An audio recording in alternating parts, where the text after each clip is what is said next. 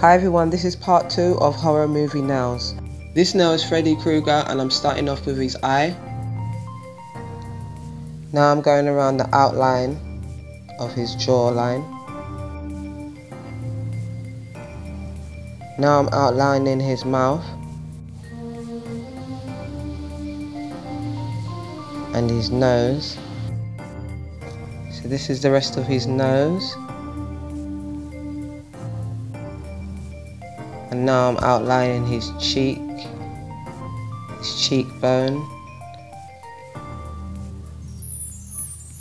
Just adding in some details here with the black. I'm going around his eye now.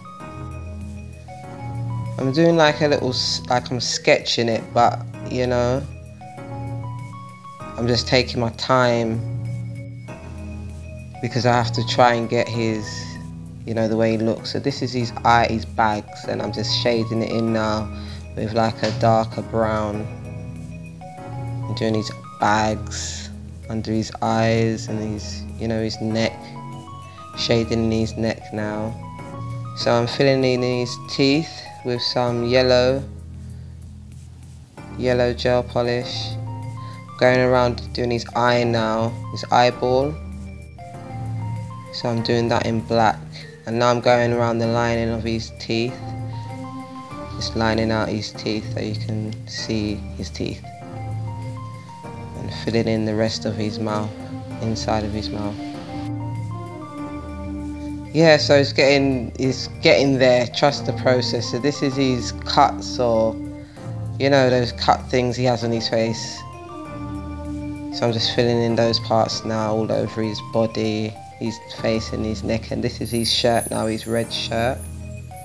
I'm filling his eyeball this is his hat. Freddy Krueger's hat.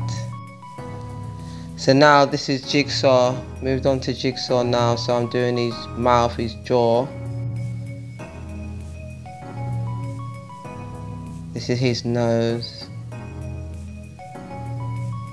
have to really take my time. This is his eye because even though it's simple it's still you know you want to make it look like the character. So that's his eye that's his cheeks red cheeks and now I'm filling in his mouth his lips. So I'm doing the outline of his hair and the outline of his cheek. I'm doing filling in the outline of his mouth. This is his eyes. Using my dotting tool.